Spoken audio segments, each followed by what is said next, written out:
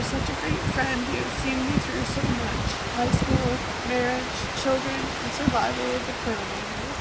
I hope you enjoy this surprise and vacation as you truly deserve it. You do so much for others, so I hope you enjoy your evening meal planned for you. You're such a good friend, and I hope you have the best Christmas ever. Can't wait to hear about it It's so. I love you. You want to blow her a kiss? Love you, girl.